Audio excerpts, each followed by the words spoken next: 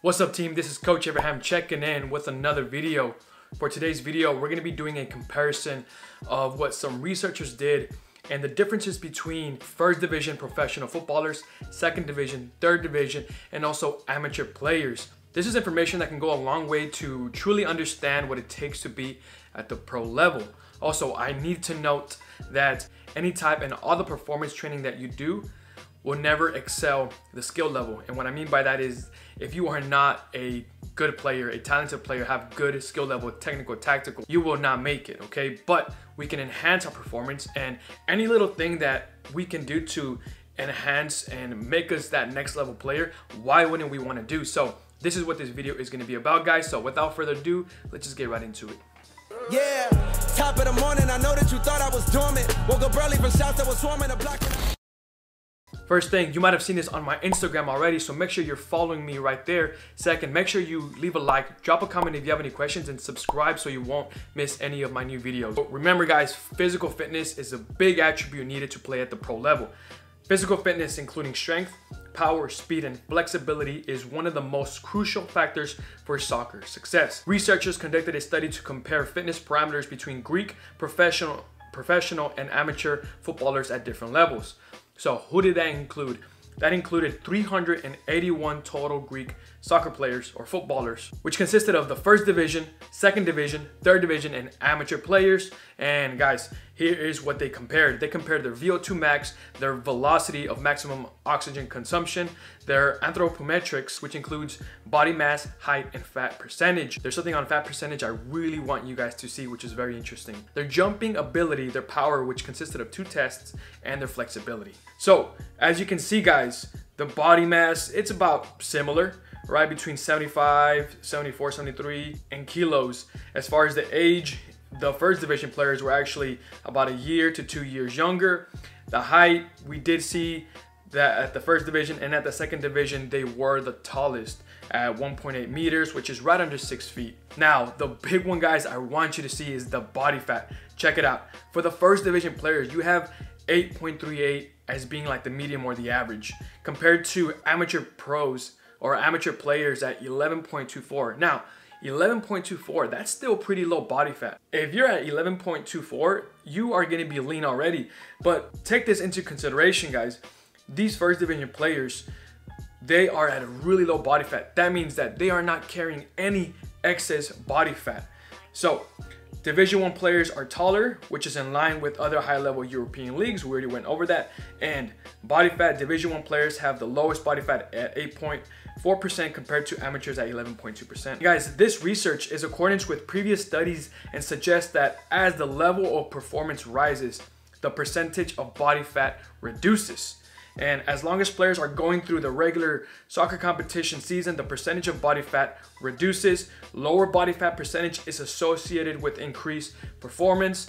I've said this in a couple other videos back and also in the video where I described should footballers lose fat and weight that Players with less body fat perform better. Again, that's excess weight that you're carrying. Guys, this gives you an insight on how much players weigh, their body fats. So this is something that you should really take into consideration. The results for their VO2 max and velocity VO2 max. As you can see, guys, the first division players beats everybody. Like it, it, doesn't get better than this as far as wanting information on what the pros are looking like compared to others. Division 1 players showed significantly higher values for both VO2 max and velocity VO2 max compared with other groups.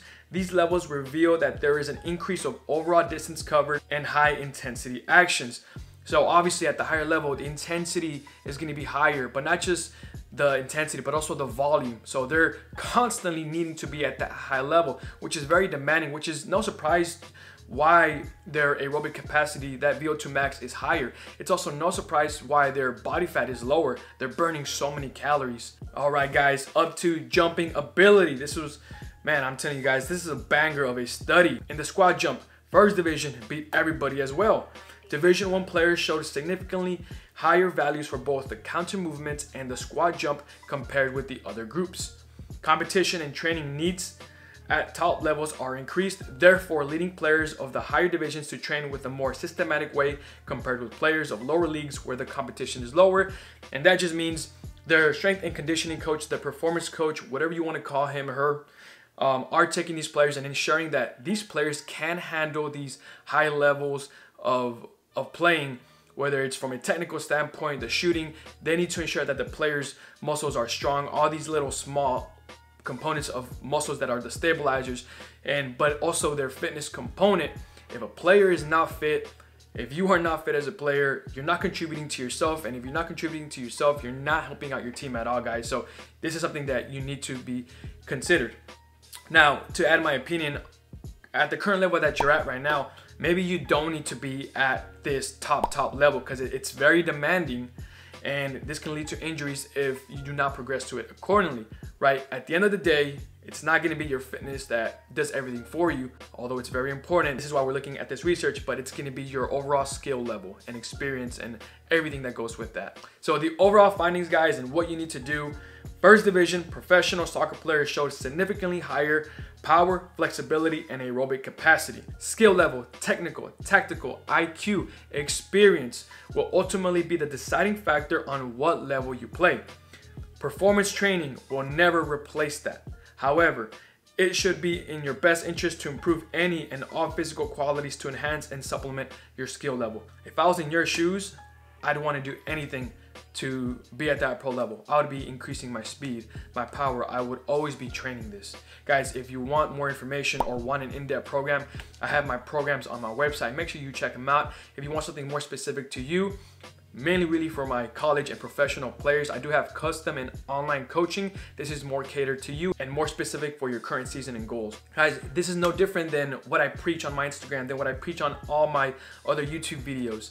You need to be improving your performance, okay? But you need to be also practicing your shooting, your technical level, your IQ, uh, doing video analysis, doing everything that you need to do. If I was training serious, I would be training two to three times at most in the gym and doing my speed. And maybe even I would, I would even just drop my gym to two times a week. But hey that's just me because I believe you need to be the best player possible and you should use that excess time to really just improve in your skills and whatnot. But if you're doing two three times a week guys you're doing good. Four times honestly you're not a a bodybuilder you're a footballer. And this is why i say you shouldn't be training more than three times a week in the gym.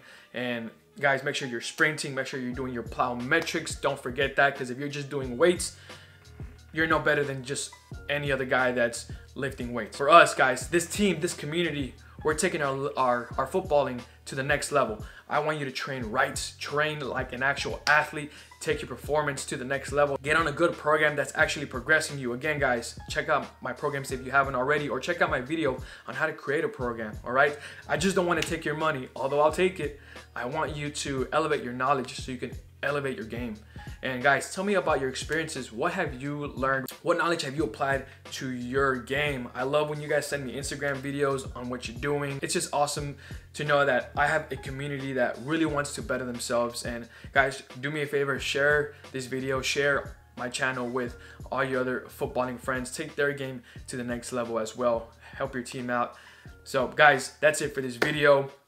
Thank you so much for watching. If you enjoyed it, leave a like, drop a comment, subscribe, and hit the notification bell to stay tuned. And hey, I'll see you guys in the next one.